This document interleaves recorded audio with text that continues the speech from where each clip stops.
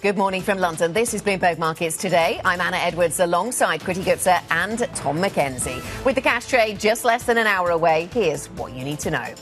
Treasuries drop as the Fed's Christopher Waller says there's no rush to lower rates. We'll look ahead to tomorrow's US inflation data. The S&P 500 gets a late day boost to finish at a record high. We'll take a closer look at how markets have fared so far this year as we head into the last major trading day of the quarter.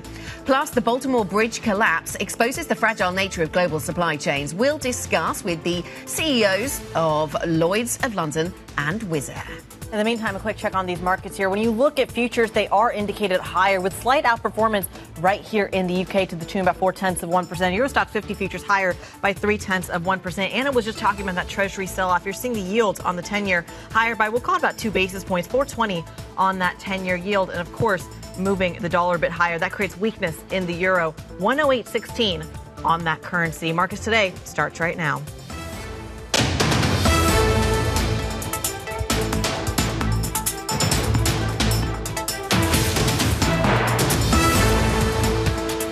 In my view, it is appropriate to reduce the overall number of rate cuts or push them further into the future in response to the recent data. I see no rush in taking the step of beginning to ease monetary policy. Okay, Fed Governor Chris Waller on why he sees no rush in cutting rates. He said he wanted to see a couple more months of data to get to that confidence point and suggested that they could push out cuts further out into the future and suggested there could be fewer cuts priced in, though he did say that the next move is more likely to be a cut than a hike. But I'm still trying to square this with the dot plots being reconfirmed at three cuts this year and the relatively dovish commentary, frankly, that we've had from Jay Powell. He said, of course, a couple of weeks ago, we are not far from having the confidence to be able to cut. So there seems to be a tension here, either within the FOMC or they're not aligning in terms of the guidance for the market. Maybe you have a clearer steer. Um, I definitely do not have a clear steer, but uh, I think what's interesting here is that there's so much emphasis being put on this one FOMC member, and, mm. and, I hmm. think it's simply because back in November he kind of backed himself into a corner a little bit, similar to the way Jay Powell did, and this is something that the Federal Reserve historically and other central banks don't do. They they kind of avoid giving exact timing and exact data points, right? They say we're data dependent, but we don't really know what that means.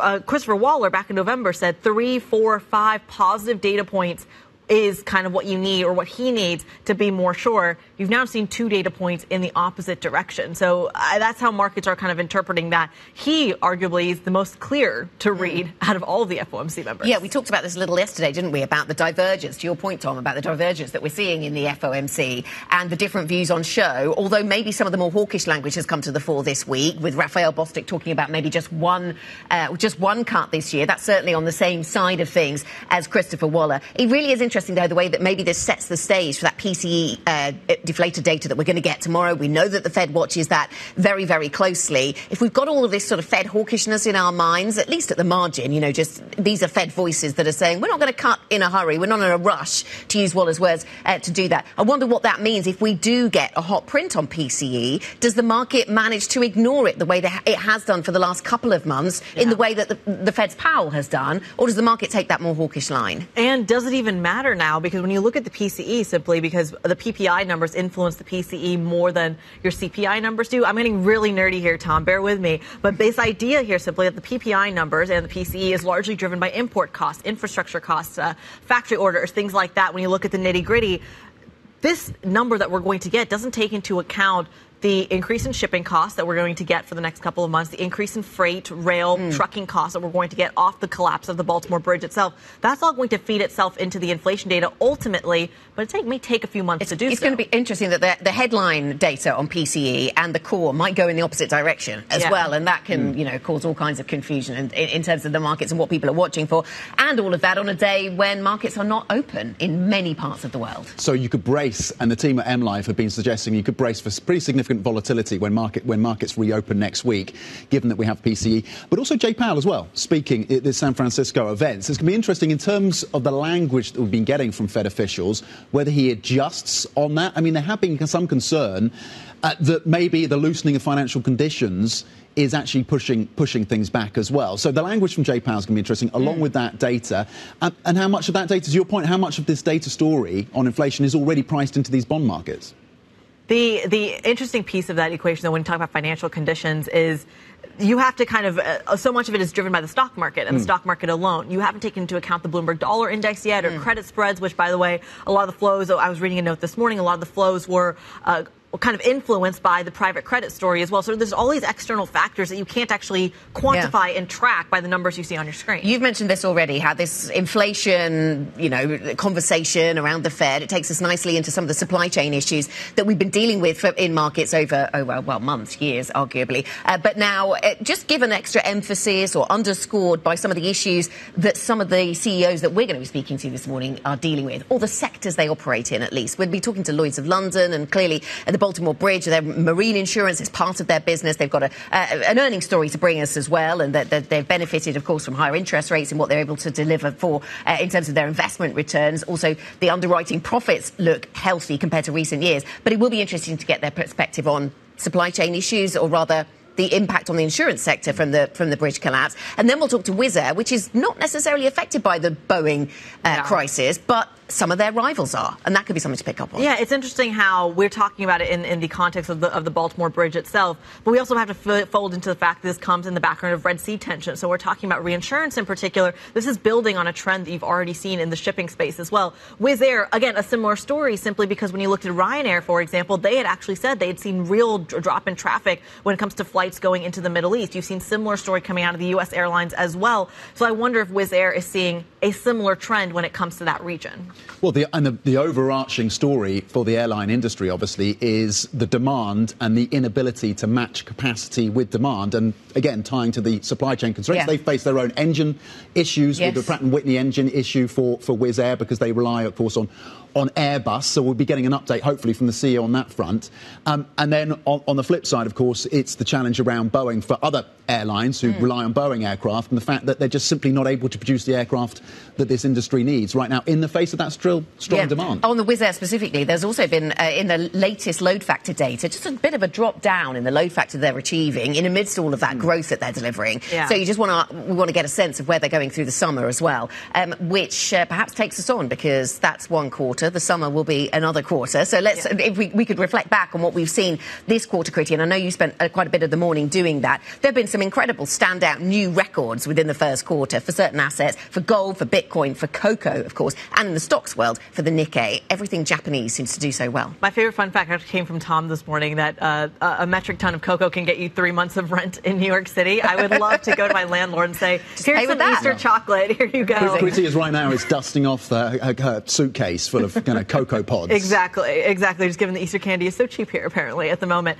Uh, well, I, I think what's what's interesting in terms of positioning, we talk about the volatility going into next week. For Europe in particular, it's going to be a catch-up trade given that on Monday the U.S. markets are open, but European markets are not. So the catch-up trade is already there. But going into next quarter, this is I think where the inflationary data and even the Red Sea data comes into uh, comes into the numbers a little bit more. We talked for H&M yesterday, for example, and even they said that even though in the first couple of months of this uh, conflict they hadn't talked about paying attention to shipping costs or Red Sea tensions, et cetera. Now they're saying this is something we're actively going mm. to be hmm. monitoring that may affect our pricing. That's just one example of the trend we may see in the next I couple of months. I think it was interesting to see which stocks did well this last quarter as mm. well. And some of them are no surprise, certainly stateside, NVIDIA and the, the strength of the AI story there. But here in Europe, not forgetting what is going on geopolitically on the doorstep, Rheinmetall and Saab, two uh, standout performances in the first quarter. And we know the defence story and the pressure on the European defence story as a result of Ukraine. Ukraine. Yeah, and that story doesn't seem to be going away, does it, in terms of the fiscal impulse to build out the defence industry? So, two big names within defence.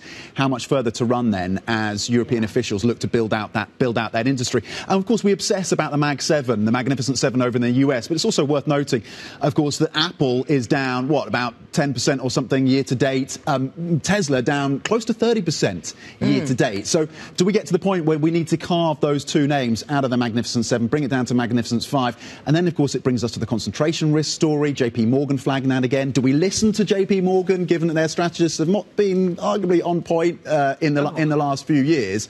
But their point around, around the concentration risks are not isolated, of course, we, to the team yeah. at JP Morgan. We've got a couple of uh, guests to talk about the European angle on that, you know, so yeah. away from the Mag 7, but talking about the European uh, side of things. And I know we're speaking to Beata Manthey from uh, Citigroup, who'll be talking to us about the Super 7, which is uh, their name for the, uh, for the European names they focus on. If Guy were here, he'd be pointing to his What is it? Sensational, Sensational Six. Six. Yeah. Yes, uh, which I think I'm taking over today. We'll, we'll see if I can live up to the to the to the name. I, I, think it's interesting that you mentioned the Apple story simply because Tom, we we are for the first time seeing this divergence between the S&P 500 record highs and the Apple story mm. falling. The first time, by the way, you see a divergence going all the way back to 2013. Usually they go neck and neck. Apple actually drives the stock market higher. This time mm. around, you're seeing the opposite. The breakdown in that divergence. Okay, we will continue across all of these stories for you today. What else is on the agenda? 12:30 UK time. We're going to get the fourth quarter GDP reading, the third reading out of the US. We're also going to get initial jobless claims. So, of course, the importance of the focus on the labour market in the US. Some reports suggesting there's a little bit of softness in some sectors, in some states.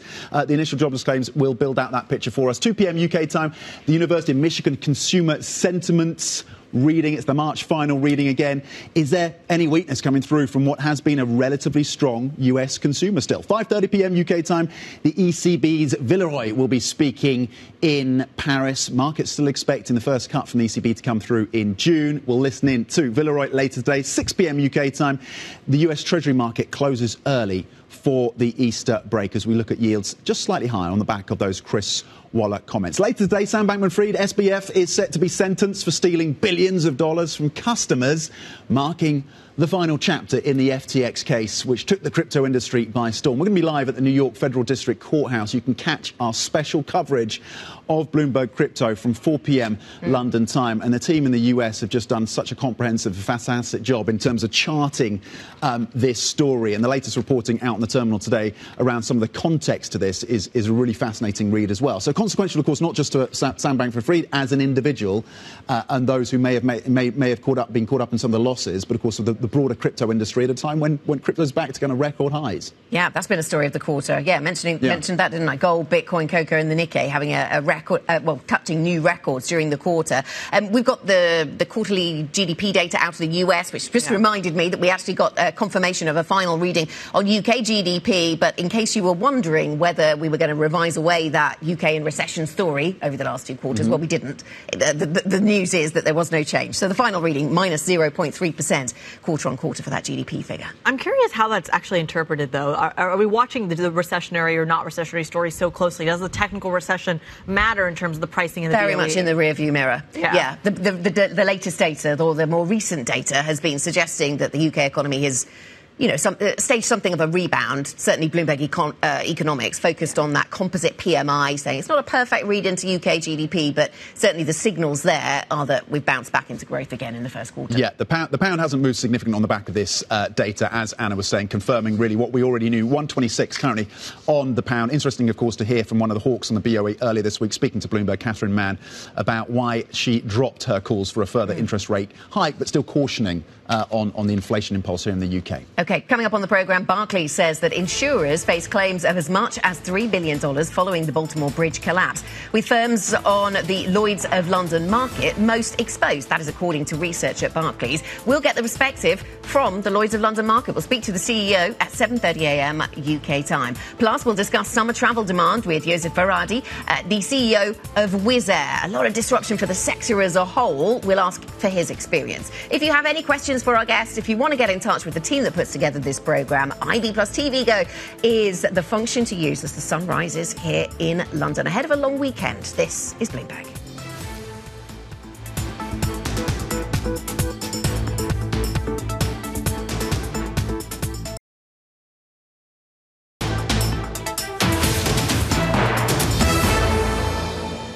Shifting new world order mm. with China coming up, more disruption, more fragmentation. And of course, if we had, depending on the president we end up having in the US, definitely more disruption and fragmentation. So that's one thing.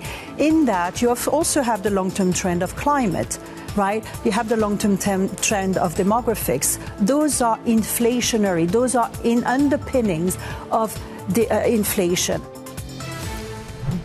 Virginie Maisonneuve, Global CIO for Equities over at Allianz Global Investors, joining us yesterday talking about not just the shifts that are taking place in the world's geopolitical order, but how that could actually fuel inflation in the short term, in the long term, at a time when everyone's kind of pricing in those rate cuts, really convinced that the Federal Reserve and its global peers are actually turning a little bit more dovish. Let's see if they're right. Joining us now, Gerry Fowler, head of European equity strategy and global derivative strategy over at UBS, joining us this morning. The narrative has changed quite quickly, even in just the last 24 hours with the comments we got from Governor Waller as well around pushing back these rate cuts. Are the markets ready for that? No, we don't think so. In fact, it really started about a month ago when we got that pretty hot jobs print in January, which is actually very reminiscent of January last year. If you remember, we got 500,000 non farm payrolls then.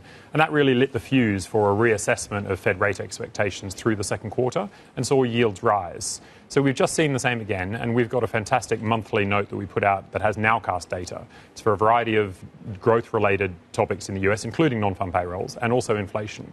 So we're watching that like a hawk. Uh, for the February data, it was pretty much spot on. For the March data, we've just highlighted that we're expecting still robust jobs, 200,000 more, uh, and inflation at 0.33, which is still running at a 4% annualized rate.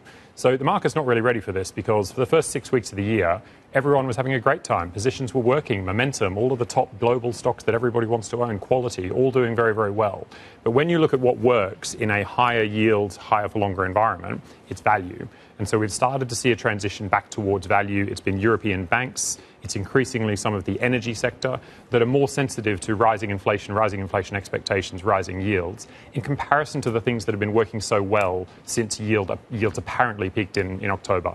Momentum and quality. Um, quality has already started to underperform. Momentum still has some some performance that's coming through, yeah. but actually in Europe in particular, value has become the momentum trade. It's interesting that we talk about this almost shift to value, and I would even broaden that out to cyclical, even though I know those aren't the exact same thing, but they're close enough. Yeah. Yes. Uh, they're very capex dependent, and, and it feels like to have that capex spent for a lot of these companies in these sectors, a little bit more reassurance around the start of a new economic cycle would be handy. Is that kind of the thinking there, or, or is the capex concerns not relevant? No, absolutely. So the consensus is very clearly that this is quite late cycle, uh, and that we will get you know, sluggish growth and weakness in inflation that allows for rate cuts to come through without a significant reacceleration. But we are seeing some signs that business confidence is picking up. We're seeing the, the grease in the wheels of, uh, of M&A and IPOs coming through that's going to keep liquidity moving around the markets. So there is some renewed optimism that perhaps there, there is another growth reacceleration coming. Probably more in the US than in Europe, where obviously you can see quite a lot of investment around the AI theme. But also in Europe. I mean, Europe's main theme is electrification.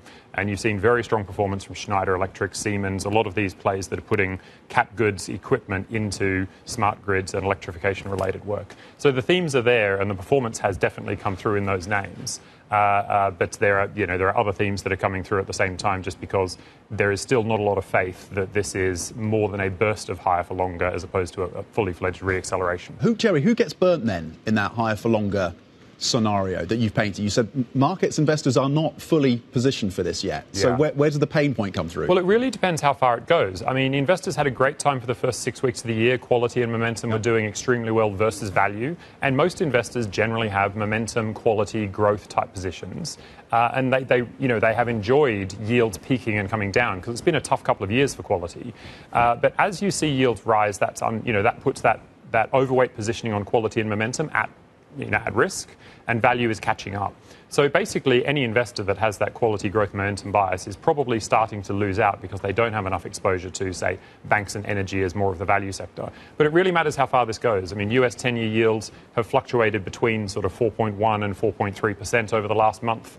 Um, if you continue to get 4% inflation prints and jobs continue to print at 200 plus, there's no reason that yields couldn't back up a bit further to, say, 4.5.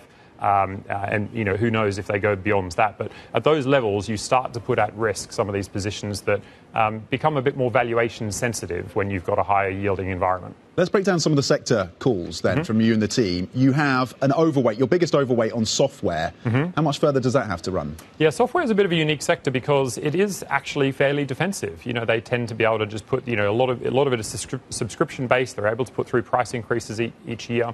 Um, it is an expensive sector, and so it can be sensitive to rising yields that pressure its valuations. But we just think there's fairly consistent pricing power there. And in fact, as it relates to the AI theme, our uh, Singapore based Tech GPT team in the, in the Wealth Management CIO office have highlighted that while there is potentially 60% CAGR growth in AI related um, products, like semiconductors and infrastructure, there's potentially more like 120%, I think the number is, compound annual growth over the next few years in software mm. as companies start to make use of it. So I think software is still one of these quite strong themes that while valuations can fluctuate, there is there's quite steady structural mm. growth coming through in the coming years. Gerry, you were talking about how growth could reaccelerate in the United States, not necessarily in Europe, although there are growth themes here around electrification, you were saying. I wonder if that is an upside risk to the growth story in Europe that makes us question when we get ECB rate cuts, the fact that, well, there's the, the, the, the growth stories that you mentioned for Europe specifically, but also if the US picks up and we see the rest of the world sort of, um, well, whatever the opposite is of catching a cold, you yeah. know, feeling better as yeah. a result. Exactly. Uh, is that something that actually might even stop the ECB in its tracks? Not from maybe cutting at all, but the extent of the cuts we get? Yeah, possibly. Although the ECB is only running on an inflation mandate, and at the moment, mm. European inflation is coming down quite nicely, so there's still room for cuts. Um, and that will open up an interesting divergence that if the ECB is cutting before the Fed, what are the consequences for the cur- currency, and how does that impact European equities?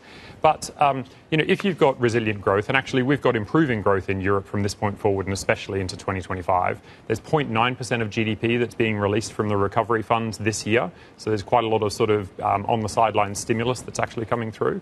Um, but all of these things, you know, the, the soft landing narrative, or maybe even the no landing narrative, is not what the market was pricing last year and a lot of sectors were priced for recession. So all of those are being repriced for no recession. That's why European banks have done very well. They were priced very cheaply because there was an expectation of cuts and slowdown. That's now not the case, so they're re rating. You can mm. see the same in US small caps. Priced for recession, um, it's no longer believed to be happening, and there are signs that there's some outperformance yeah. there as well. Uh, let me ask you about the, the breadth that we see in Europe. Uh, we've got a guest coming up in the next hour of the programme who talks about how Europe we talk about the US being quite narrow. You know, there's there's not much breadth to the rally. It's a mm-hmm. lot to do with AI and technology. But she points out that Europe has actually been narrower than usual. Does that fit with your findings, and what would you expect to see in terms of how that develops? Yeah, it does. I mean, there's been two very big correlation, sorry, decorrelation drivers over the last couple of years, which have really meant that some parts of the market go up, some go down, and therefore the index is very low volatility. And actually, having a low volatility market encourages more risk taking. People either use more leverage or buy more cyclical, volatile, risky companies, and that's been what we've seen in the US and Europe. The drivers are and they're macro drivers. Normally, macro drivers cause lots of correlation, but in this case, it's done the opposite. COVID caused these dislocations within the market between services and manufacturing, which went one way, then the other, other way, and that's starting to normalize. But also, we had a huge yield move, and yields actually have a, different impact in different parts of the market as well. Some things go up, some things go down. So, this dislocation, I think, is potentially at risk, particularly if jobs data weakens. Because at the moment, you've still got these COVID and yields driven divergences playing through in the market. That's part of the narrowness that you can see, plenty of stuff going up, some stuff going down. Uh, but if you start to see those decorrelation macro drivers dissipate, and we expect they will, lower bond volatility uh, and less disruption from COVID, then other macro consequences will cause more correlation. And more correlation will lead to more volatility. It makes it a bit riskier investing in markets. We'll see slightly bigger daily moves. Mm. So our analysis suggests that that will be the case over the next nine to 12 months. But it all depends on jobs. If you have job weakness, you're likely to get a 20% volatility regime. If you don't have jobs weakness, you're more likely to get a 10% volatility regime. So again, that data once a month on non-farm payrolls becomes pretty critical for the, the nature of risk in the market, the correlation of stocks, and therefore that breadth you're talking about. Mm a, a, lot to digest there. I feel like we can game theory this with you uh, all, all, day long. Uh, Gerry Fowler, head of European equity strategy and global derivative strategy over at UBS. We thank you so much for joining the program. There's a lot to digest there. He talked about the equity story. Let's talk a little bit about the macro story as well. Coming up on the program, you do not want to miss our interview. John Neal joins us, the CEO of Lloyd's of London, talking a little bit about the reinsurance story around not just the Baltimore Bridge, but really building on the defense story here in Europe, the Red Sea tensions as well. We're going to ask him about all of it, not to mention what's happening right here in Europe. Stick with us. This is Bloomberg.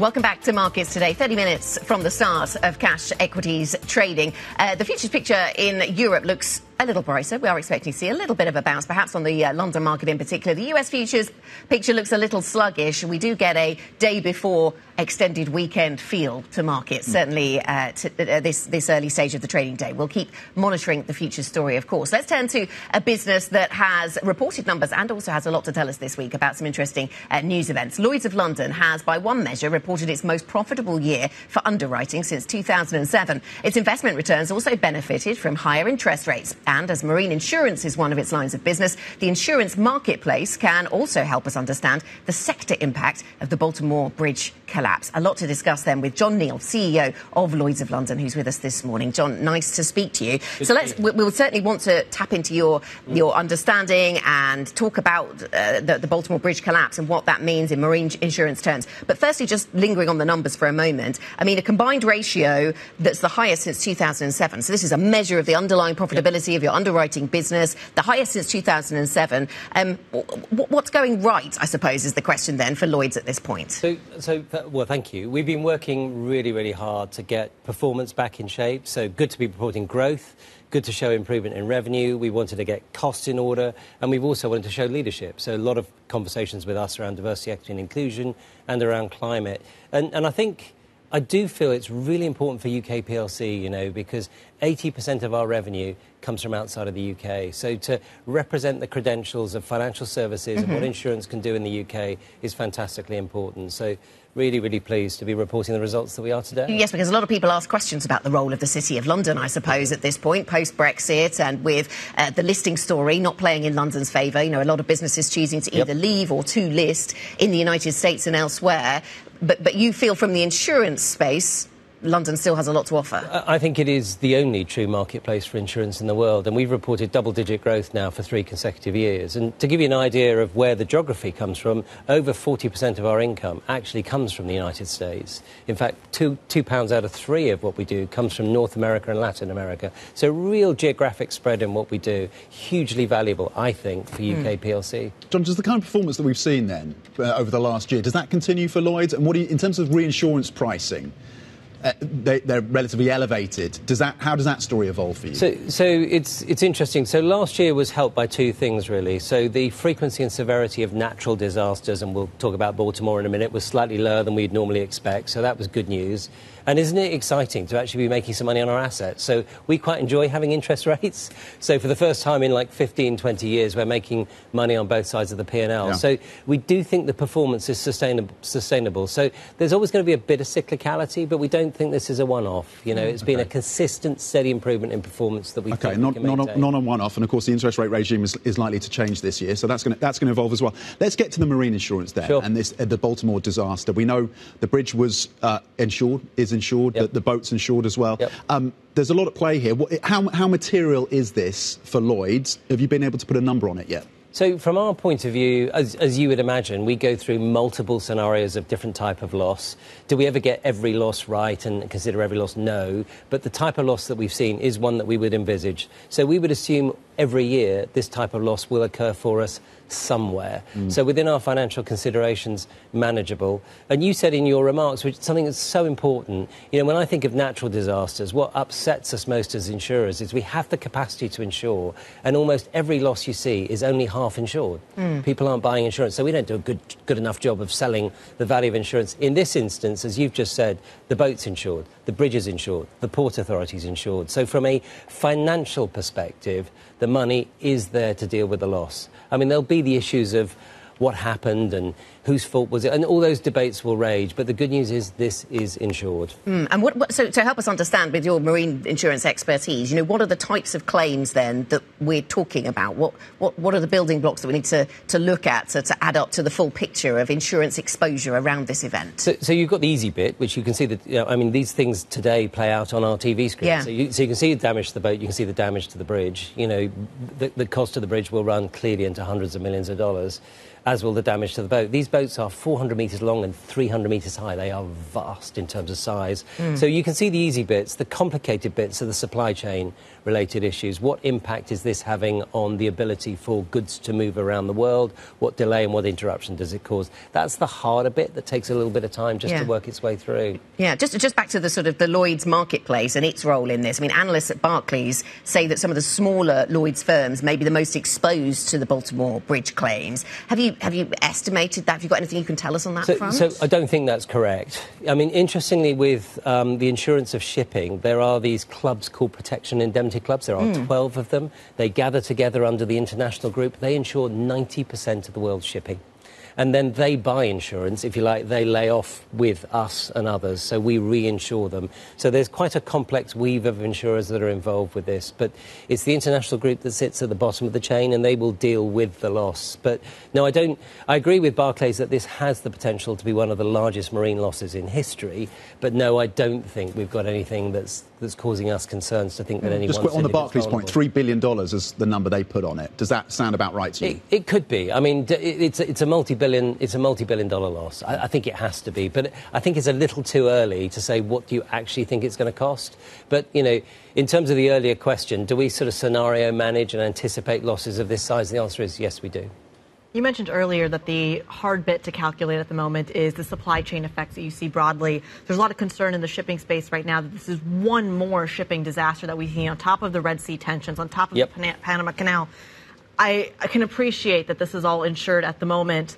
At what point do these almost increased shipping risks start to become a danger to you and your company? So uh, they don't become a danger. I, I, honestly, I honestly think we've got to do a much better job of representing how we can provide insurance. You know, when you think of business interruption, I'm getting so old now. I remember the floods in Thailand in 2011 and the impact that had. People couldn't get the chips on cars. Yeah. You know, you then look at the impact that we've seen in in the Ukraine, and you've seen the, the energy impact around the world. So, you know, when you think of supply chain interruption, it, it is all insurable. We can deal with all of these types of situations. So, so I think it's an opportunity for us to say, look, there are products, there are services that can help in this situation. So, no, we're not genuinely not intimidated by the financial consequence. You know, we have the capability, the capacity, and the interest to provide insurance. And that's relative to, say, accident protection, for example. What about in terms of actual war zones. We talked about the Red Sea tensions in particular. Lloyd's of London active in terms of insurance to Ukrainian shipping, for yes, example, in yes. the ports there.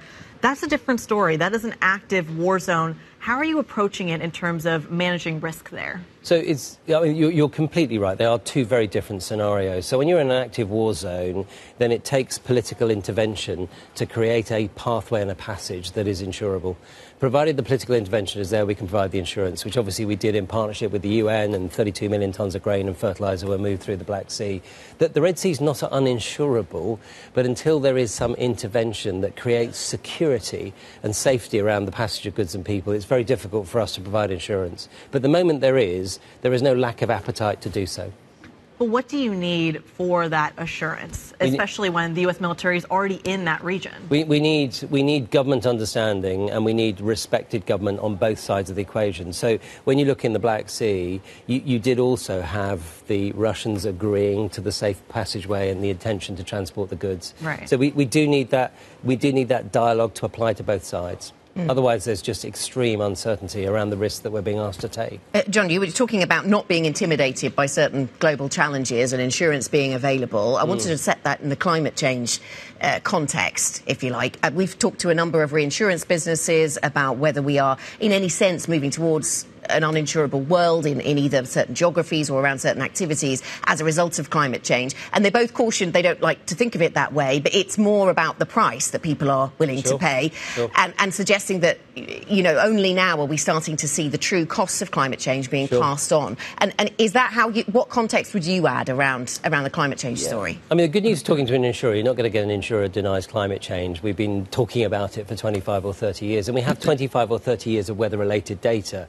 So we can show you the increase in severity and frequency of climate related incidents evidence through weather.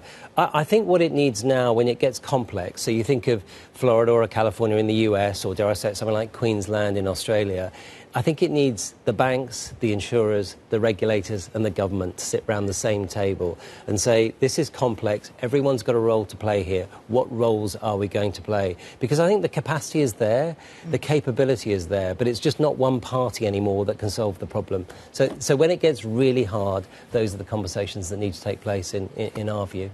Mm. John, on the question of artificial intelligence, I want to fold two questions into one. One, what are some of the most interesting use cases you're seeing across the marketplace in terms of how, our, how AI is being applied with, within insurance across your business? And secondly, are you looking at will there be products to insure against AI risks? Yeah, that's a great question. So, on the first question, uh, data informs everything we do and how we yeah. think. So, in, in AI, through various iterations, then it's always been part of what we do. So when you ask questions about how we measure risk and manage risk, that is all data led. When I look at some of the interesting use cases now, it's how can we more quickly get to the answer? How can we more quickly get to yes for a risk and price it? And AI is hugely helpful in that respect.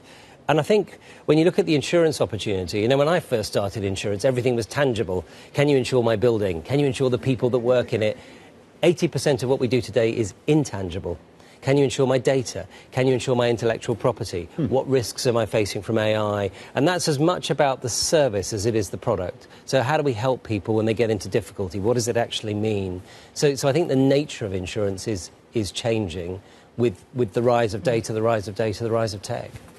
How do you price that, though? You talked about the rise of tech, and, and Tom was talking about the AI story as well we were talking about geopolitics earlier. Let's marry the two. Cyber insurance is, is very in vogue. Cybersecurity yeah, yeah. is very in vogue.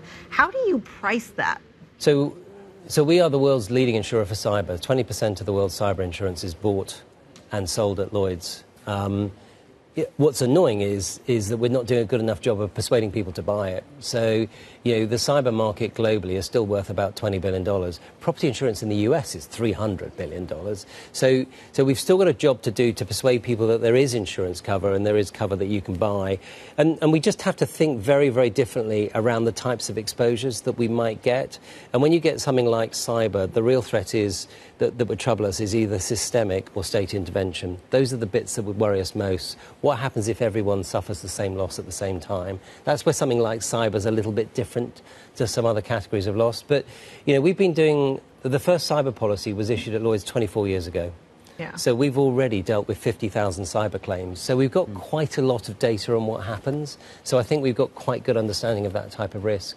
John, quickly before we let you go, when you talk to the government, when you talk to possibly the opposition Labour sure. Party in an election year for the UK, what is your top priority for them? What is the top message to improve the competitiveness of your market? What are you taking to them? So there's, there's two points really. One would be you, you've got to have a plan. You know, some of the plans, particularly around transition-related activity or some of the problems to solve, they're not one-year plans or two-year plans. They're eight-year plans, nine-year plans, ten-year plans. So for goodness sake, commit to a longer-term plan. And then there is the financial muscle from either, or the, either us or the banks to want to help and support. So, one, please do that.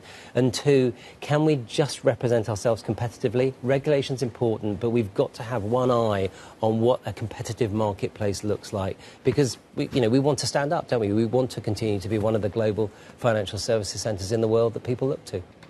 All right. John Neal, CEO of Lloyd's of London. We've hit a little bit of everything with you. We thank you so much for joining the program. Coming up, we go into the micro. JD Sports isn't sweating a recent disappointing trading update, saying that trading conditions will ultimately improve. We're going to take a look at that and your other stocks to watch coming up next. This is Bloomberg.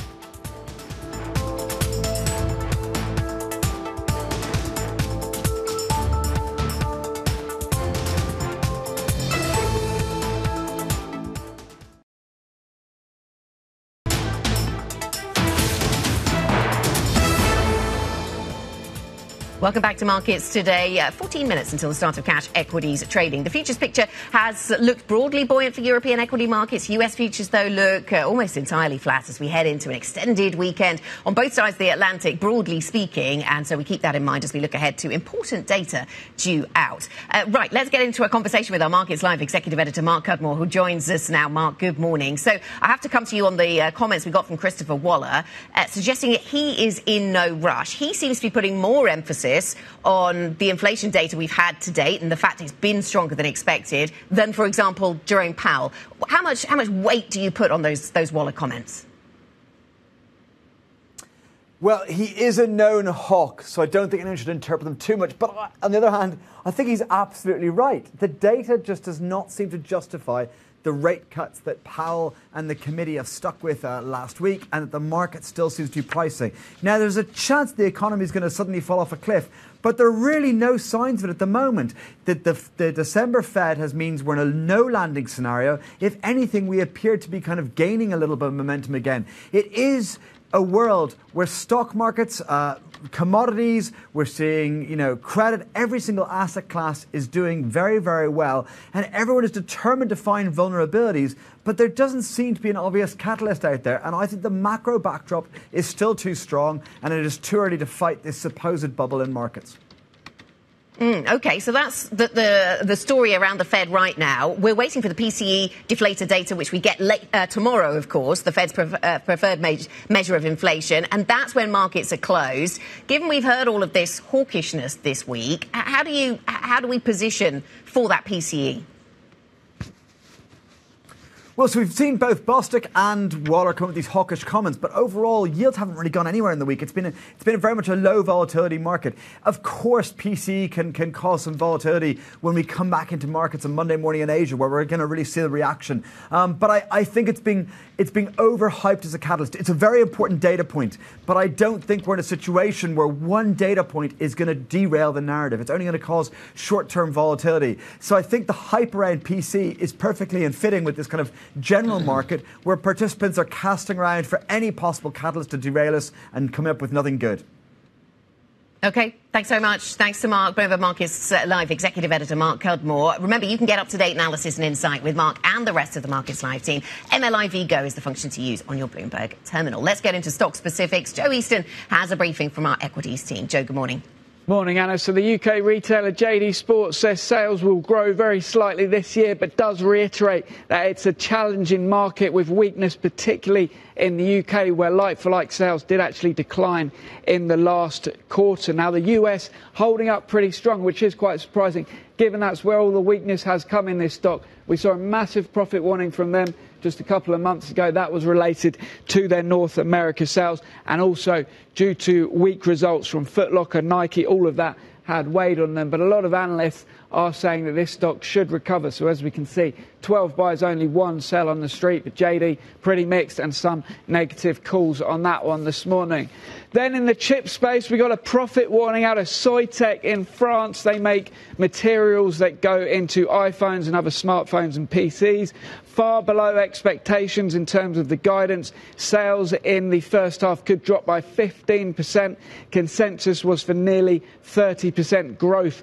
Morgan Stanley writing that the decline in handset demand has been far longer than any of them had expected in terms of the analyst community. So we're going to keep an eye on a bunch of stocks that supply iPhones and also PCs as well. We've got Varta over in Germany, ams Osram, ST Micro, a bit of a bigger one there. All of them having a weak year to date, and this is a negative indicator for that sector once again.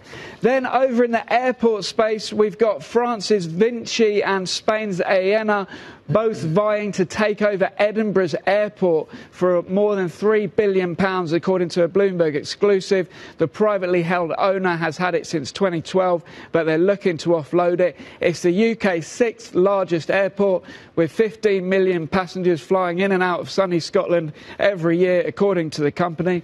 These stocks are actually doing pretty well at the moment, given the rebound in long haul travel. Vinci already has Gatwick Airport, Aena does Madrid, so they're looking to add to their airport portfolios. Keep an eye on those stocks today.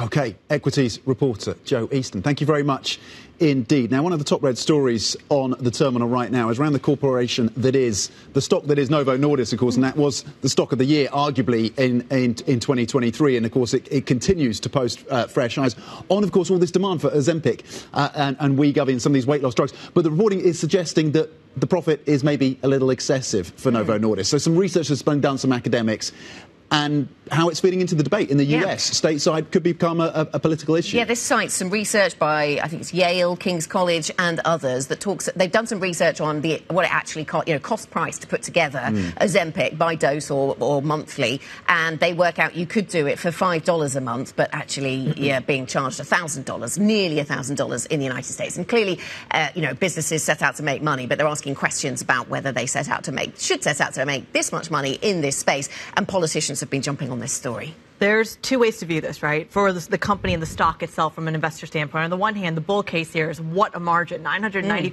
mm. per injection. That's enormous. And, and, and therefore, you could actually see per that, month, yeah. Right. Could actually see that react in, in, in the opening trade when you see that kind of margin. I don't think we've gotten numbers exactly around that, given that Novo has been so much capex focus and spend. The other side of this equation is yes, the politics and yes, the regulatory action, which fair enough takes time. There's also a consumer question there.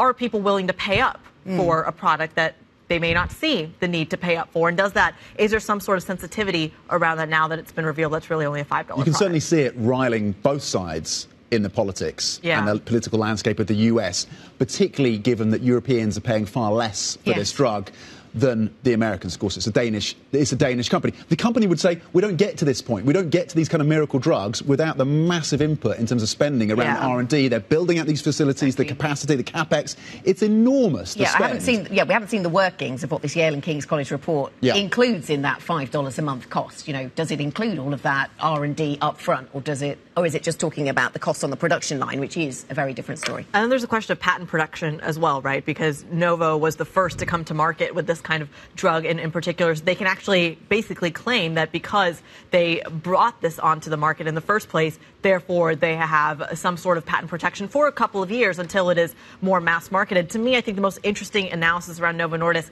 actually came out of Goldman Sachs, excuse me, Morgan Stanley, where they had said that if enough Americans buy into this product and you actually really see the obesity drug explode, that can actually add to GDP growth as well, just because of this product. I thought that was a really interesting uh, kind of best case scenario coming out of Morgan Stanley. Okay, so we are just minutes away then from the start of the European equity trading day. The futures picture, as we mentioned, has been looking kind of buoyant, but you know maybe we see low volumes today. We know that certain people are getting ready for a long weekend, and uh, of course taking the opportunity to take more time off. So we could see low volumes in markets as we will be closed on both sides of the Atlantic tomorrow, and some markets, of course, here in Europe close on Monday as well. So we keep that in mind. U.S. futures flat to negative. We'll be back with the European Open. This is Bloomberg.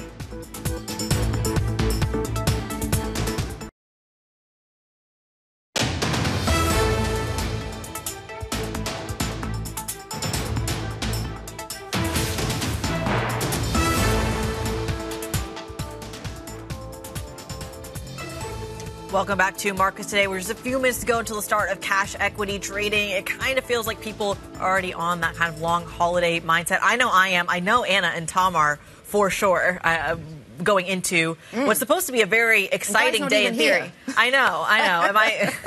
I taken off already. We're, we're all on holiday, Fair which enough. is the timing is kind of a little wonky here. Tomorrow we've got that PCE data. We've got chair, comments coming out of uh, Chair Powell as well. Euro inflation data coming out as well, and the markets can't do anything about it. I remember days where they used to move those releases to days when trading was happening. You know, Yeah. things that usually happened on a Thursday would happen on a different day if there wasn't going to be any trading. But apparently, PCE not uh, not getting that treatment. And MLIV's Mark Cranfield, or Mark Cudmore, I should say, saying, look, maybe we're overhyping the PCE. I'm not so sure. Look, it's going to come in, uh, it's, it's stickier, is the expectation. That would reinforce what we've been hearing from Yeah. Bostic and, of course, um, Chris Waller most recently. And he suggested you can push those hikes further out. He's not saying that uh, those- those cuts. He's not saying a cut's not going to come. He just says you can push them further out. He's not convinced. He needs a couple more minute, a couple more months. I don't know if we'd of, of overhyped data. it, but in a quiet week, you know, this kind of data break gets more of a mention. Oh, Guy was talking about it on Sunday night about how exciting Friday was going to be, and he's not even here to witness the excitement. Uh, the the interesting thing, I think, perhaps comes in today's market open when you look at some of these individual stocks. I mean, um, yes, we're all waiting for the macro. Some of these uh, traders are probably likely checked out. There's a couple of names that are already catching my eye. Uh, DHL, for example, uh, getting uh, Deutsche Post, excuse me, getting cut to a hold from buy at Deutsche Bank. ASML, we always like to watch some of those big heavyweights. Uh, conversations happening between the Dutch Prime Minister and China around Yeah. tech security. Does it have a read across into the market open? Yeah. We'll find out in just a few seconds. We absolutely will. Market uh, opening in just a couple of seconds then. Yesterday was dominated by strength for the retail sector. We'll see what does it today. So we're open across European equity markets right now. Only the FTSE 100 and the Xetra DAX actually printing earlier than uh, perhaps usual. The retail sector then, as I mentioned, did really well yesterday. It was up 2.5%. We had the likes of H&M really moving higher, more than 10% higher, in fact, in session yesterday. And so that was certainly an area of, uh, of focus for us. So what does the market do today? Well, early signs are that we have travel and leisure moving higher as one of the sectors to watch. Basic resources also doing pretty well. And only a few sectors in negative territory. So broadly positive. Stoxx 600 up by two tenths of a percent this morning. Yeah, we should mention that Lloyd's of London is uh, not only one of the highest index contributors, but one of the high percentage movers as well, higher by about 1%. We just had the CEO mm-hmm. on talking about those record moves. Uh, they are, given just their maritime insurance, they're seeing a lot of that uptick in their numbers as well, not to mention, uh, not to make kind of good out of a, a, poor situation, but some of the costs around the Baltimore Bridge collapse, the Red Sea tensions as well, uh, they are actually able to deal with that and not have to uh, uh, kind of shell out too much more than they had anticipated. Yeah, um, he did. He did say he thinks it's going to be. It's likely to be one of, if not the biggest marine insurance claim that we that we've ever seen. But specifically on their business, as, as, you say, they've had a very good year in terms of 2023, and it was interesting. He was talking about that outlook. He says it's not a one-off. They mm. expect to post, and they're in a position to continue to build on that uh, in 2024. Absolutely right, of course, Anna. To focus in on the top sector being basic resources, we have seen a bit of strength coming through for the commodities space uh, this morning. Iron ore prices having skirted with that 100 level are at 101, up just five tenths percent, and Brent oil is also high, as is copper just by a smidge. So a little bit of movement in, in the materials, the basic resources space, the commodity space, lifting basic resources. So that's playing into, of course, what we're seeing on the FTSE 100 that is exposed to some of those miners. The FTSE 100 up three tenths of a percent. Yeah, the FTSE is a little stronger. The, we have that, yeah, modest sense of improvement across European stocks today. It's kind of broad based, isn't it? As, as we've been mentioning, a lot of these sectors um, in positive territory this morning. Only, as I was mentioning, just a couple were moving lower. In fact, three sectors moving lower. And the US futures picture, though, looks broadly unchanged. Uh, just uh, a, a, word on the uh, yeah basic resources then. The best performing sector, up mm. eight tenths. Struggling for interesting things to say about this market this morning. Yeah, no, that seems to be that seems to be the story. You got some of the heavyweights moving higher as well. Uh, I just want to quickly correct what I said earlier. Lloyd's of London is not listed. Apologies. Looking at Lloyd's Bank instead. So you are actually seeing a lot of the banks higher as well. Uh, Barclays, for example, trading higher as well as is BNP Paribas. So you are seeing perhaps a rate story. I'm curious if that's kind of some sort of reaction on the little slight tick up higher in yields we got off of the Waller comments, uh, stateside, but also in Europe as well. Again, it feels more like a macro story that's reading mm. into some of these stock stories. It's interesting. There was that uh, red headline earlier on about uh, China and Australia being on better terms around wine, and uh, you know you might not see there's much direct read across from that into. Um, uh, into commodities, but the fact that basic, I mean, basic resources do trade around sentiment towards China and global yeah. trade, and, and as well around um, metal prices, we, we don't see a great deal. We see a bit of upside on iron ore this morning, so it could be that. So Australia produces this higher grade iron ore that China China's reliant on. So they mm. so they never cut off, they never shut the doors to, to that uh, yes. uh, input, but they did certainly put the put the constraints on in terms of other trade inputs from, from Australia. You had the Labour government come in, the relationship has thawed, and you're right, in terms of the symbolism, it's important. Of course, yeah. it's important for the domestic wine industry of Australia. It was a massive market, it was the largest market, China, for the wine industry, so that's, that's important for them. But it tells a bigger story about yeah. China at least trying to find areas in relations with some of its trading partners. Yeah to ease some of those tensions and to kind of put a floor, at least, under those go. relationships. We found something interesting to say about this morning's market. Better mood music around yes, China. Thank God Tom Mackenzie was here, because what would we have done otherwise? Not uh, Australian wine and China. Uh, Tom's expertise, clearly. uh, well, let's go from the micro then to the macro story, because we're talking about these individual European earnings stories. Is there more upside, given that in this last quarter, was the last day of the quarter, we actually already saw the Stoxx 600 hit that record high. Take a listen to what Goldman's Sharon Bell had to say on that earnings story. She recently just upgraded her forecast for the index.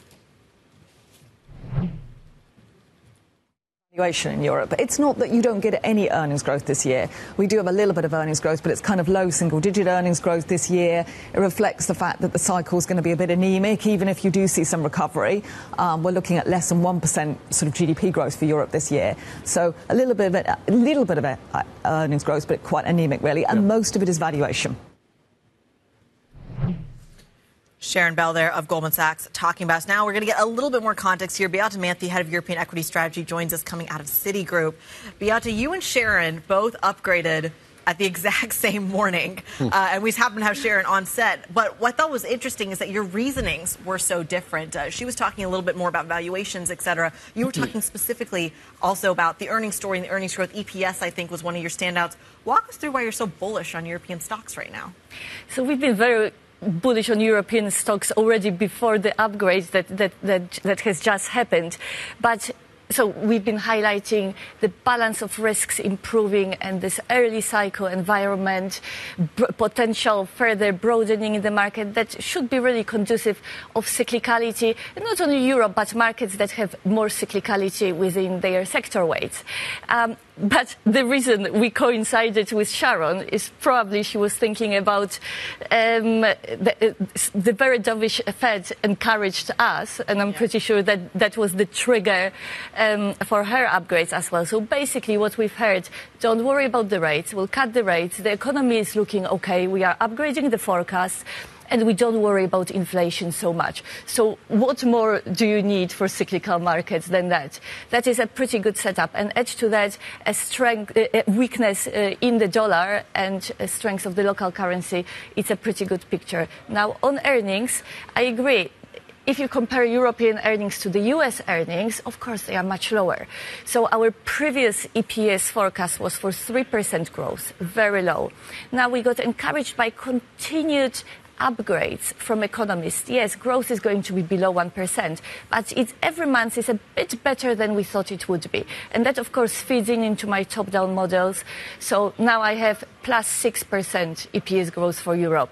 And we've been arguing for some time, markets have been pricing in not so long ago a contraction in EPS, and now the market is pricing pretty much in line uh, with our top-down forecast, which is slightly below the analysts. It all makes sense, except for that very first thing you said. Hmm. The the early cycle is, is, what you call it. We actually just had Gerry Fowler uh, over at UBS join us this morning, mm-hmm. calling it a late cycle dynamic, but still saying that you were seeing value and cyclicals kind of outperform. What is the indication to you that we are early cycle and not late cycle? So look, it's been a very desynchronized cycle. You could almost argue, I would push it even further, we don't have a cycle anymore mm-hmm. as we've been used to, right? But in Europe, of course, in the US it's a different story. In Europe, we are coming from very subdued growth environment, flat GDP last year.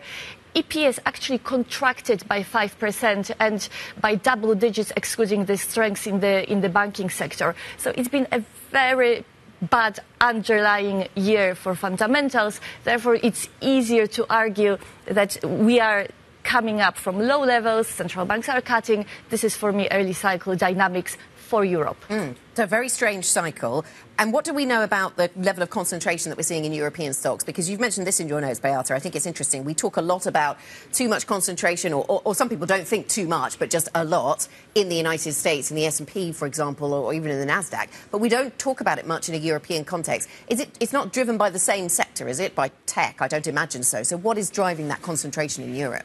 So, what is very interesting is that markets around the world went up strongly year to date, but through narrowing, so through mm. concentration into a few stocks and sectors. And when markets narrow, they tend to narrow into growth. So in the US, it would be mostly tech. In Europe, it would be uh, luxury goods as well on the top of tech, and more recently, even European banks. But we've had this concentration for two months. Concentration doesn't mean that the market has to come uh, come down off the cliff, right? So the, actually, the very uh, bullish uh, positioning in the U.S. has just come off at the beginning of this uh, of this week without the market collapsing. Mm. So do you expect that to? Uh, do you expect the, the European market to broaden? So uh, our base case for this year was, was, for the continuation of the broadening, just as it happened uh, in the fourth quarter of last year. Of course, this narrowing was very unusual for Europe. Hardly ever happens in Europe. Happens much more often uh, in the US. So a more natural environment for Europe to outperform is really through broadening, and we are st- starting to see very tentative signs that this is this is starting to happen right now. So, yes, broadening going forward. Uh, Beata, Kriti went to your first answer. I want to go to your first answer as well, because you talked about the dovishness coming through from central bankers. You can look past and we can become less concerned about inflation. But is that the message we're getting from Chris Waller? Is that the message we've had from Raphael Bostic? It doesn't seem so. Does, the, does the message from those voting members of the FOMC challenge that view? I think we are going to have a, lots of news flow that will be challenging the, the view for sure. But we you really don't get a weak dollar in we, that environment. We yes. You don't get a weak dollar in that environment. I mean, if Chris if Chris Waller is is the, is is our new guiding light, then we're not looking at a weak dollar. So First of all, we really focus on what the Chair Powell has said, okay. right? Uh, and what the dots are telling us. Mm. So the dots stayed the same. That was encouraging, and that was always the risk they would come lower. So I think this is what the markets leaned onto. Now, on the on the dollar, we have a bit of the weakness. I think the risk on environment is it's enough for equities outside of the US for the dollar not to strengthen further. So we do not have huge weakening uh, in the dollar, but some over the next uh, two quarters or so. Okay, you're overweight continental Europe and emerging markets. You're underweight the UK, Beata. How does that, does, does the UK not have a cyclical, you, fa- you favour the cyclicality of this market? Does the UK not have a role there? It does. 50% of the sector weight comes from cyclicality, mm. but it's very skewed towards commodities and especially the energy sector, while the another 50% is purely defensive. So it's a very interesting and unique market from that perspective. So um, what the UK really needs is for commodities to start picking up. This will be a better setup for the UK market, does for the FTSE 100. Does that not eat into the bottom line, though, just given that there is that dependency? For example, hypothetically, for I think the very first time in months, we've heard JP Morgan float the idea of $100 oil, for example. It's not their base case, but they said it's a possibility uh, in, in kind of the worst case scenario. Does that kind of spook you in any way in terms of the bottom line for some of these European companies? So, 100 dollar could be a risk, especially for the inflation, right? right? Circling back to the to the central banks, it's been coming up gradually, mostly because actually the demand around the world is better. So it's a lead indicator that actually the yeah. global growth is not so bad, and of course it's a function of uh, of size, uh, some supply constraints as well. Um, it all depends how it goes up, right? How fast and, and to what levels. But a bit higher, um, a bit higher oil, I don't think should be a problem at that point mm. if the growth continues to pick up, economic growth. Yeah. I, want to ask about the significance of real wages in 2024, Beata. Is this a, an upside risk for, for growth, for all kinds of dynamics within the European economy, maybe? Uh, we, we, saw the UK retailer Next talking about this some time ago. Uh, today, we uh, then we got H&M numbers yesterday. They were strong. JD Sports numbers seem to be strong, as if there's something propelling these retailers at the moment. And Next certainly was talking about the real wage story. That's just very UK, but there, that, that seems to be a conversation we're having in other geographies as well. So wage growth is always the risk for inflation and for the central banks again, but uh, and could put some pressure on margins. But as long as earnings pick up or don't really proper margin pressures you only get when the earnings collapse, right? We don't see that on the horizon uh, at the moment, but definitely a risk. Absolutely. Let's not play it down a lot to digest, so we've thrown a lot at you. Beata Manthey, head of European equity strategy over at Citigroup. We thank you so much for joining the program. She's talking a little bit about how do you look at some of the even concentration risks, how you look at some of the indexes. Well, I'm going to put my Guy Johnson hat or Guy Johnson tie on perhaps today and look at the sensational six, his sensational six, where he likes to look at kind of the bigger heavyweights, the kind of sectoral picture that we really look at today.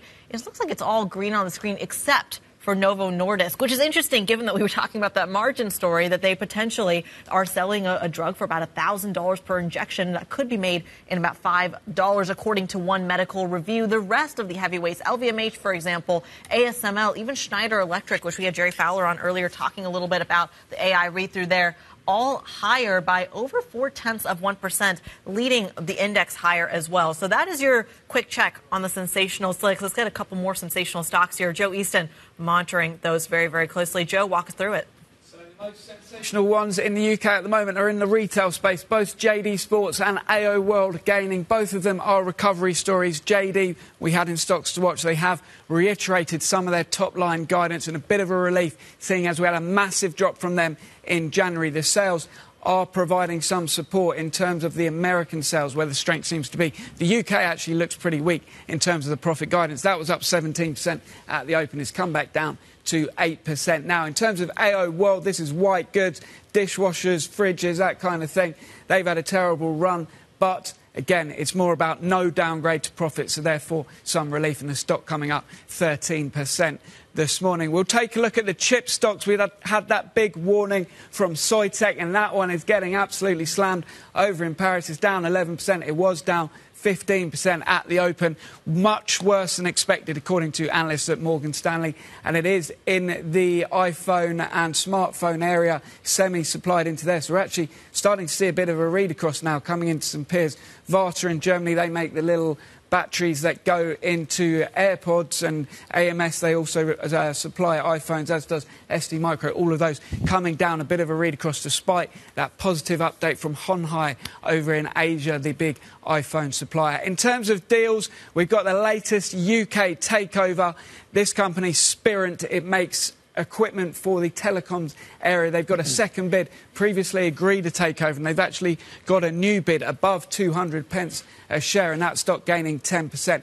Casino, that's in and out of a trading hole. It's resumed trading after a long period of suspension. The takeover by Daniel Kretinsky has been finalised. It's very, very messy. It's down 50%. It will take a while to understand what's going on there, but it is a dilution of shareholders following that takeover. And Embracer, this is over in the video game space. They're doing a deal. That stock was up around 8% at the open in Sweden, but it is actually coming down a little bit now, doing a 460 million deal with Take Two in the US. Finally, we're keeping on the theme of Lloyd's of London insurers. We've got an upgrade for SCOR, very timely, given your interview just now. A hard market, strong pricing in the Lloyd's of London market means SCOR gets an upgrade at HSBC, and a lot of focus on that given the events of the week. That stock up 3.5%. HSBC upgrades it to buy. Okay, Joe Easton, excellent. Thank you very much indeed. And some of the stocks on the move for us this Thursday morning. Coming up, the world's biggest banks quietly hang on to carbon intensive clients exposing cracks in the world of climate finance. That story is next. This is Bloomberg.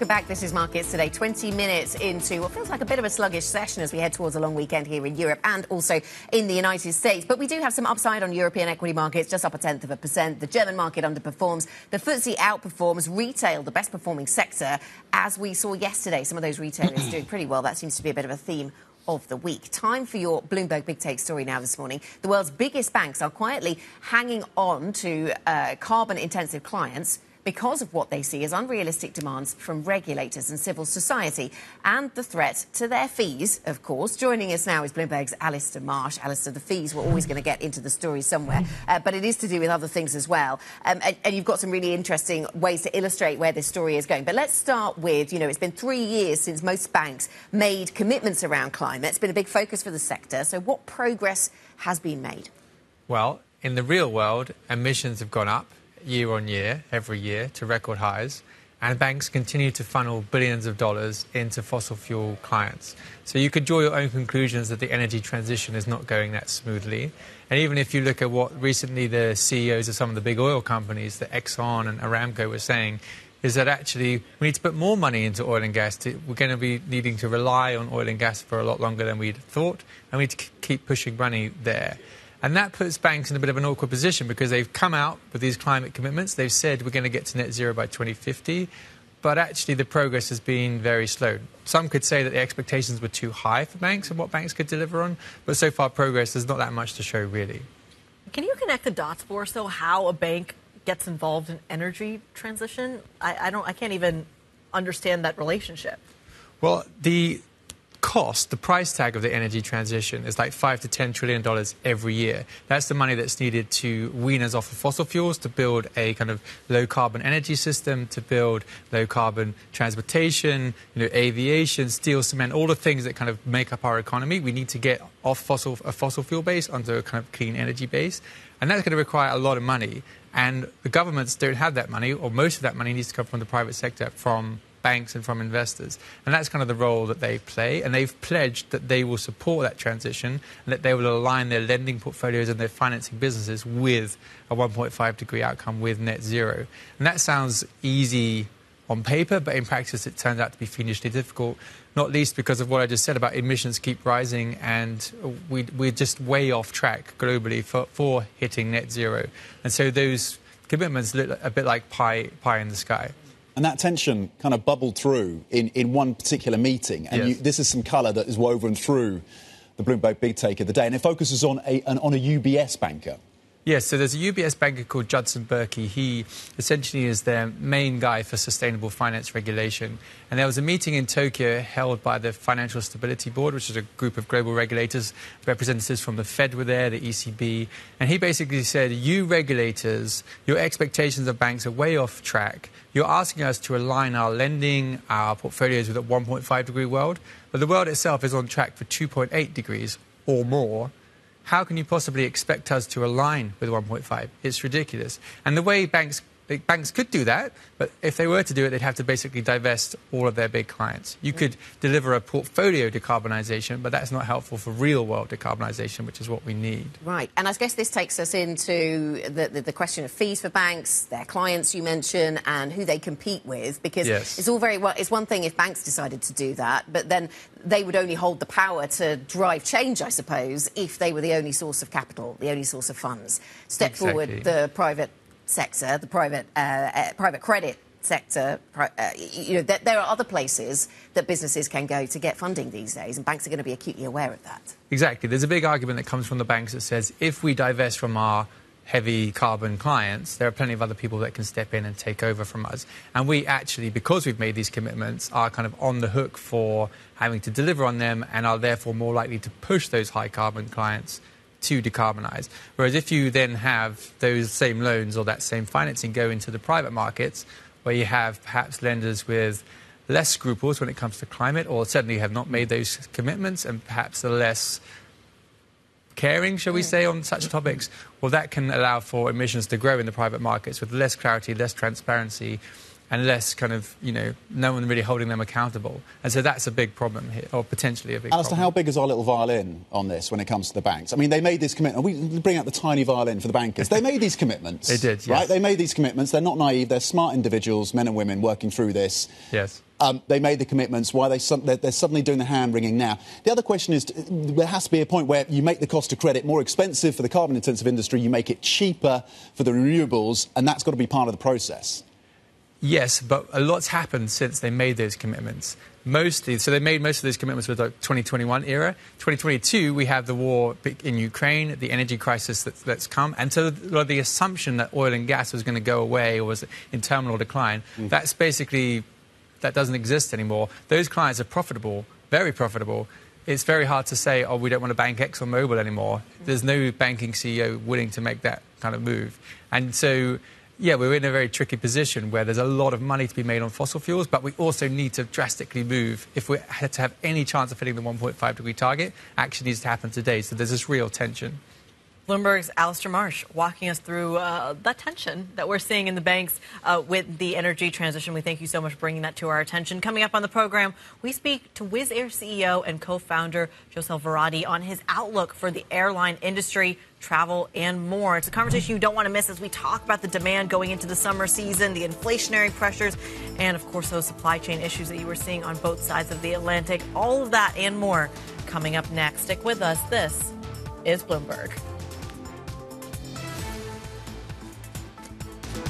So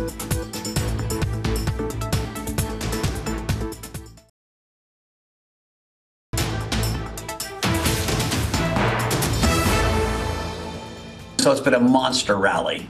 Uh, that rally was mostly fueled by adoption, right? With the ETF, it made it very easy for people in the US, institutions and the wealth channel, most importantly, to access Bitcoin for the first time. That was the Galaxy Digital founder and CEO Mike Novogratz on the Bitcoin rally. Certainly, it's been a really strong quarter for Bitcoin, for a host of other assets, for gold as well. Um, the focus of this, of a lot of our conversations this morning, Kriti, has been around supply chains, and we're going to go into another conversation where that is important. We spoke earlier on to the CEO of Lloyd's of London, and he was talking about the uh, the impact on the insurance sector of one big supply chain issue, and that's mm. the collapse of that Baltimore Bridge. Yeah. Uh, but supply chain is certainly something that's really uh, dominant when you think about what's going on in the aviation sector right now, be it engines or the supply of aircraft. It is, and then also, I mean, dare I say, it actually connects to the Bitcoin story and the investing story here because some of those inflation concerns are actively driving the market. There is a fundamental connection between inflation and alternative assets and private credit and, and private equity in Bitcoin, uh, not to put those all together. Uh, but the inflationary story is important because take a look at where all the uptick is coming from. It's coming from demand that hasn't gone away, yeah. supply chain points that you mentioned, um, and a lot of that, at least in the United States, if you break it down into the nitty gritty, it's coming from airfare. Yep. Yes, yeah, absolutely. So airfares have been uh, certainly playing their part in that inflation story. Let's get into a conversation about the inflation, uh, the, the aviation sector then now. We're joined by the CEO of Wizz Air, Joseph Varadi, who's uh, passing through London this morning and with us. So very nice to speak to you. Uh, it's nice to have you with us. Let's look ahead to the summer. I know we've got all these supply chain issues to talk about, and we'll get to that. But I just wanted to have a moment to think about where what the summer looks like, because I know you know you'll have people, network planners, and uh, computers uh, all all focused on how strong bookings look for the summer. Um, I was looking at your load factor over the last few months, and it did seem as if it had dropped year on year, but I know you're growing. What, uh, should we be concerned about that load factor drop? What's going on there? No, not at all. We, uh, we see demand being very strong and intact, and people want to fly. Um, to be honest, I think uh, demand is a function of economic prosperity. I think the world is still doing relatively well. Of course, we always want it to be, uh, to, to be better. So there is n- nothing wrong with demand. The challenge to the industry comes on the supply chain side. Mm.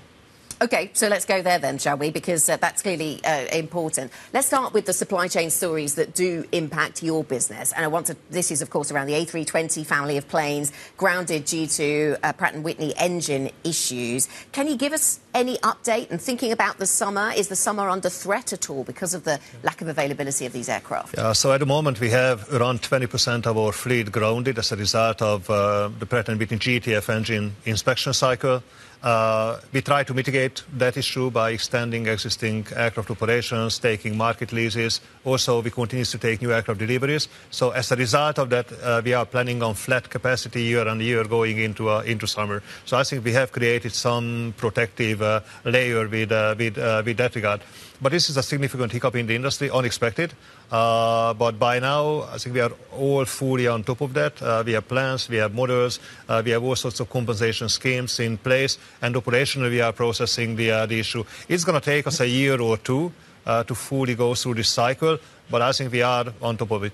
What's the most up-to-date time frame you're looking at for resolving the Pratt & Whitney engine issue? This is not going to go away too quickly. I mean, we are talking about two types of issues. Uh, one is uh, the engine technology is, is, a brand new, groundbreaking technology. As a result, you, you, you should be reasonably expecting some childhood diseases, and I think we are going through that cycle of childhood diseases. And on top of that, there was this industrial hiccup of contaminated materials, the, uh, the, the, so-called powdered metal, which needs to be corrected, and parts uh, are being replaced as we, uh, as we speak. Both lines, I think, will come to an end uh, in the next 18 to 24 months. What is the Boeing impact? You're, you're, exclusively with Airbus for now, at least. The Boeing going through, of course, these momentous challenges, but it ripples across the sector in terms of the ability to churn out planes, to get planes to airlines. The impact on, on you as a business as you look ahead from what Boeing is going through, their travails. Yeah, first of all, we are happy to operate Airbus. We like the Airbus planes, and uh, we, took a strategic decision why we were going for Airbus. Having said that, uh, we have an interest in a very strong Boeing. We want a competitive industry because competition drives economic efficiency in the industry and it drives innovation, and we, need both uh, going forward. So we want to see Boeing to recover from this. To become solid again and be a quality player in the industry. You talk about this kind of interest and, and, ramifications for the broader industry. Talk to us about the capacity crunch there. Where's the bigger risk factor? Is it that demand has exploded in the way that it has, or is it the supply crunches? What What's the bigger uh, hurdle for you? Yeah, to if you look at demand on a global basis, I mean, the whole industry globally is basically back to COVID level. Uh, so I don't think that this is the explosion of demand. Uh, globally. It is the explosion of the supply chain globally. This is what's affecting the, uh, the operations of the industry. But that's pushing the airfares higher as well, and you're seeing that on both sides of the Atlantic. Talk to us about the airfare picture. When do you, as a company, address that or pull it down in line with the inflationary pressures that we're seeing? Yeah, so basically, uh, you know, airfares are the, the function of supply and demand, and if supply is contained, obviously this is going to make an upward push on, uh, on airfares. Our business model, however, is to make sure that we derive the most economic efficiency from our operations and apply that saving to the consumers because we are still stimulating the market. I mean, let's not forget that in the United uh, Kingdom, it is a fairly saturated market, but you go to countries like Central and Eastern Europe, uh, you are still stimulating first flyers. Uh, 30 40% of our passengers are first flyers. They, they, they just flew uh, first time ever in their life. Wow. That's quite the experience. Um, let, let me, let I just want to go back to some of the supply chain issues we were talking about with regards to Boeing, and you're saying it's important to have a strong Boeing. I find that interesting, given you don't use them as a, you know, you know, not a not a customer, as, mm. as Tom said. Why is it important for you then, if, you, if, if, you're not a customer of Boeing, that, that we have a strong Boeing in the marketplace? Yeah. Because I don't want anyone in this industry to uh, monopolize its market position because this is going to push prices up on the uh, airplane and it will slow down innovation. I think we need both. We need to have um, uh, good assets coming out uh, of the production line at reasonable price and also we need to innovate this industry. I mean, you know, we have the carbon challenge and we need to make sure that the investments are uh, put up properly, and that is a, a, an innovative force driving the industry. So you don't want Airbus to put up prices. You don't want any of your suppliers, of course, maybe, I don't want to, to, to, to, put up prices. Is there, to some extent, an argument that maybe you benefit though if if, if Boeing customers are not able to get hold of their planes, for example, Ryanair, and you're in the same markets as them to some degree in various geographies. So, do, do you benefit from their inability to get hold of the aircraft? Uh, look, if there are any benefits coming out of the situation, we'll, we'll take them. But we are in the long term strategic game here the interest strategically is to have a strong Airbus, a strong Boeing, strong players in the industry uh, operating pro- uh, properly and delivering the right quality of products to the market. Mm. Safety and critical uh, quality issues, obviously in, fo- in, focus at Boeing. Are you, are you completely and 100% reassured that, that, Airbus has none of these issues? How, how confident are you in Airbus's ability to turn out quality aircraft? Well, we are. I mean, we are uh, deeply into the Airbus system. Uh, I mean, just look at it from this perspective. Every year, uh, we, we take roughly around 40 new aircraft deliveries. So we live and breathe together with, with Airbus. We understand their quality system, we understand the aircraft, and we are exposed to, uh, to new aircraft deliveries on a continuous basis. We are very confident. Regulators are on it. Regulators are on it. I think EASA is doing a good job. Airbus is doing a good job. Um, uh, I think they are making the, uh, the necessary investment uh, needed in, in quality controls. I have full confidence full confidence, but is there something else you'd like to see from the regulatory authorities in terms of ensuring that safety and ensuring that consumer confidence as well? I think what we need to have, and, and maybe this is what uh, has eroded over the last few decades, that uh, due to the consolidation of the industry, the relationship between the regulator uh, and, the, uh, and the manufacturer became somewhat more cozy than what it should have been. Uh, these two lines must be totally separated out the uh, manufacturer must control uh, internally quality of their products, and it has to be scrutinized and oversighted by the regulator in a separate manner. And those things should not be overlapped. Okay, so that's the regulatory story. Away from the supply chain issues, that, that, there's something else I wanted to ask you about, and that is the way that we're sort of almost going back a few decades in the sense that some consumers want packaged holidays again, it seems. We've been writing about this at Bloomberg, and I know others have as well. But EasyJet is making profits in that area. Ryanair has deals in place to sell, you know, packaged holidays with cost of living crises in various places, it's focused consumers on knowing exactly what they're going to have to spend up front. Are you doing anything in that space to make money on that? On that front? I think we are seeing conflicting trends, to be honest. I mean, uh, there may be a trend for uh, package holidays, and there is another trend for unbundling, and uh, people want to pick their choices, whether that's a hotel or logistics or, uh, or airfare. Uh, we are essentially enabling them to do both, uh, depending on consumer preferences. If people want to package up, they can do it on our website. They can do their own holiday package. If they want to buy various products separately, they can do it too. All right. Uh, a lot to digest there. We thank you so much for joining the program. That's Wizz Air CEO and co-founder Joseph Varadi joining the program this morning. Coming up with the Germany set to partially legalize cannabis for personal use in the coming days. We're going to discuss the opportunities for the commercial market. That conversation next. Stick with us. This is Bloomberg.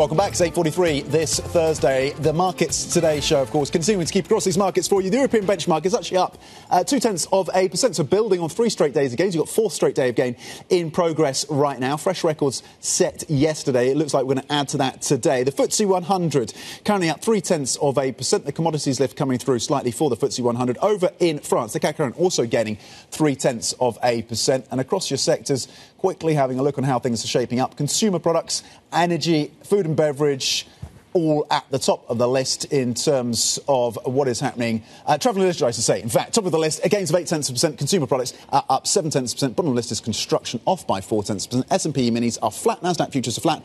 Again, uh, fresh records on US stocks yesterday. Taking a bit of a pause, it seems, today. Let's get to the banking space now, where UBS has cut its bonus pool for last year by 14%. 1 4, 14% after a tougher year, of course, for deal makers and traders. This as the Swiss bank increases its cost saving targets amid the integration of Credit Suisse. Annual profit came in at a record 27.8 billion US dollars. Let's bring in Bloomberg's Tom Metcalf then, who leads our finance team for the details on this. Tom, Ermotti's pay, Sergio Ermotti's pay uh, in focus. Um, what does that number look like? Where does this rank among banking executives?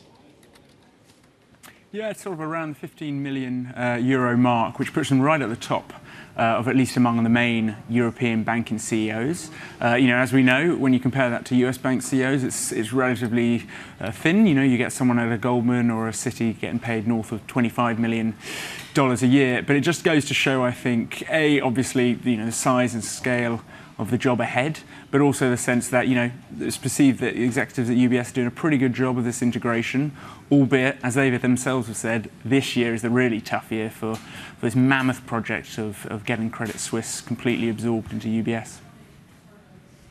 So you compared it to the U.S. banks as well, but talk to us a little about how it compares to European banks, given that the bonus pool is down about 14 percent.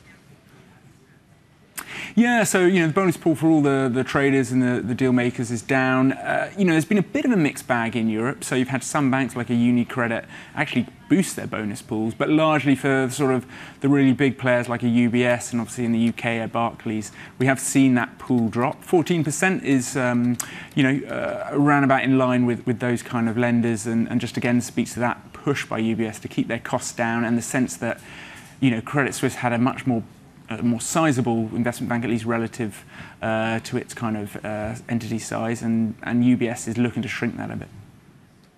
Mm. Tom, it's this, this coming from an annual report, I think, where you know typically you, you, find more in the in the financial statements usually, don't you, about these businesses? But you've managed to glean quite a lot from the from this statement today. What else stood out to you? Yeah, there was a really interesting line that you know, kind of read the tea leaves on, but you know, a lot of speculation about how long Ermotti is going to stay. And you know, previously there was a sense he'd, he'd obviously stay through right till the integration is complete, which they're aiming for uh, by the end of 2026. But there was a line there, I think, from the chairman saying we expect Ermotti to stay at least through then. So when you're reading those things carefully, that kind of wording, a bit like with central bankers, you know, you could read that as suggesting that Ermotti's going to be there for um, you know longer than perhaps people were initially banking on. Tom, thanks so much. Tom Metcalf for bringing us the latest on the banking sector. Obviously, focused there on the pay at the top and the bonus pool and how that yeah. compares to the European competition. And I think when we when we talk about the uh, banking sector as well, we have to put this in the context of something, the European interest rate story. Over and over again, we heard it from Commerzbank, we heard it from others as well, uh, that if you're trying to talk about peak rates in Europe that have been kind of fueling this, these gains in the banks and fueling, therefore, bonuses and these kind of salaries, uh, what does that then mean for for mm. the uh, interest rate picture and therefore the banks broadly. Mm. Okay, let's pivot firmly away from the interest rate picture. I can think of no linking thought. Europe's markets, markets on a high. Excellent. I, Thank you, Tom. he should be doing this bit. Europe's largest medical cannabis market, Germany, is set to partially legalise weed for personal use from next week. Bloomberg's Oliver Crook is at a medical marijuana growing and processing facility just outside Dresden. He's dressed for the occasion. He brings us a conversation on this front. Ollie, good morning.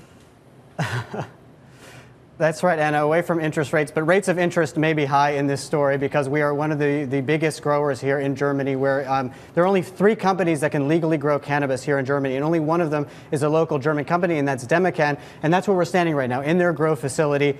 And this comes as the law has been passed now that starting on the 1st of April, there's going to be a partial legalization, a decriminalization, and huge implications not only for the medical part of this uh, business, but, but, the potential future commercial sales. So I'm very pleased to be joined right now by one of the managing uh, directors, Philipp Goebel, who is here. Can you take us first? What's going on in this room and a little bit about what the operation is here? This is one of our growing rooms where we currently grow uh, up to one ton per year, which we only can deliver up to now to the German government. As of Monday, we will be allowed to use the one ton of spare capacity we already have for grow, which we can then sell directly to the pharmacies. So we already can double our production here at this site. And we also have lots of expansion capacity when it comes to the point which you mentioned, the second column of the law, when medical, uh, when cannabis will be allowed for recreational purpose as well within the test regions which are going to be defined. That's right. So this pilot program we're expecting maybe at the end of the year, the beginning of next year, and that will be selling directly to the public, which is really the game changer here because you are primarily and really only a medical producer right now. But really, there's a chance in the next couple of years that becomes the smaller part of your business. What do you expect for the timeline for the commercial sale? And illustrate a bit for us the scale of what we're talking about here. So the cannabis market in Germany is estimated to be between 420 and 770 tons. If you talk to paper producers, which are often used uh, to consume cannabis, they rather expect 1,000 tons to be consumed in Germany. So this is interesting. I just want to make this point because it's very difficult to get data because this is obviously illegal. So you need to go exactly. to the manufacturers of rolling papers to get an idea of how much is being used in Germany. And the, the paper from the government for the 400 to 770 tons uh, was uh, taking assumptions from the US, from Colorado, from Canada to estimate the German market size. So we see it's a huge potential market, knowing that the medical cannabis market is just right now about 12 to 13 tons. Still, however, the medical cannabis market over the next 12 to 24 months is expected to grow by 5 to 10 times.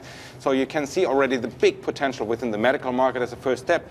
And then when the recreational market steps in, this is obviously a huge growth opportunity as well, especially because within that second part, which is going to come, everything which is going to be sold for recreational purposes has to be grown in Germany. And as you said, we are just one of the three licensed producers right now who can grow cannabis right, in Germany. So, so, that positions you pretty well in the market here. Here's the question Do you need to actually expand now to fill that capacity?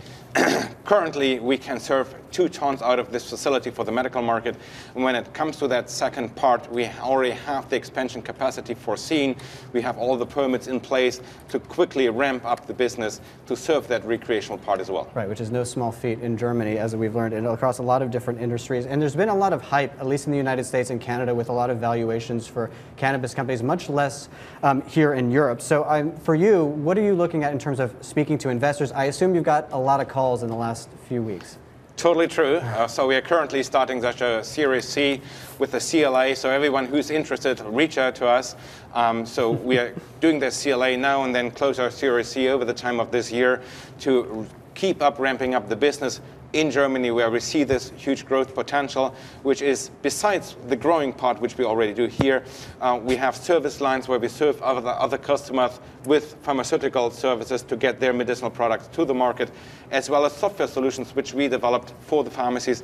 So we really cover the full supply chain where we see the leverage of this market for the future. Right, developing really the cannabis ecosystem for the first time exactly, in, in Europe. It's an ecosystem. And but the Canadians are also at the door. They're growing here in Germany. How do you stay ahead of competition? Because a lot of the sort of overhead and a lot of the barriers to entry aren't that high from a physical standpoint.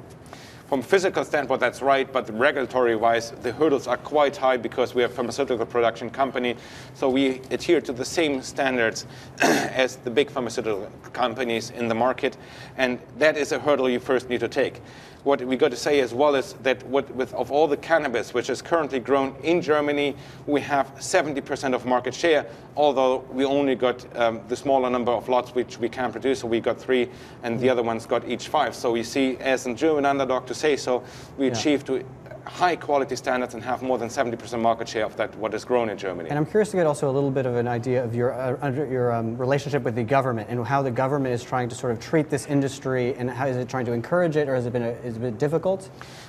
the, the government is really supportive to us. So we have two states in Germany who invested into the company as well.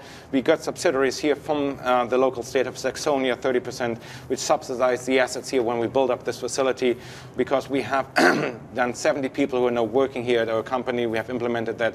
So we see good support also from the local and national governments. We are working very closely together with the BfArM, which is the FDA in, in the US, where we have a good relationship to build up this business.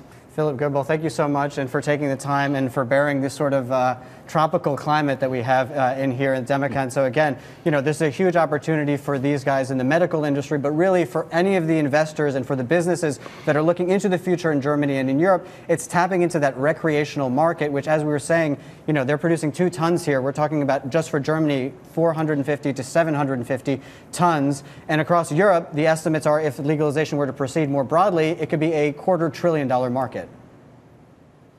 Bloomberg's Oliver Crook there walking us through some of the numbers. It's a really interesting story because you've seen it actually become a real uh, growth story in other parts of the world. Canada, for example, of course, getting a lot of gains. I think in the state of New York, uh, seeing that as well. Uh, in terms of watching some of the growth, let's talk about what else we're going to be watching in terms of today's data docket. At 12:30 UK time, we get U.S. fourth quarter GDP. That third reading is going to be coming out. The initial jobless claims as well at about the same time. 2 p.m. UK time, UMich consumer sentiment data that March final reading hitting at about 2 p.m. there at 5:30 p.m. UK time. The focus shifts to Europe. The ECB's Villeroy speaking in Paris now about 6 p.m. UK time. U.S. Treasury market closing early for that Easter break. And of course, later today, Sam Bankman Fried set to be sentenced for stealing billions of dollars from customers, marking the final chapter in the FTX case, which shook the crypto industry by storm. We're going to be live at the New York Federal District Courthouse, and you can catch our special coverage of Bloomberg Crypto from 4 p.m. London time onwards. You know, it's interesting when this uh, story first broke and we saw mm. the ramifications,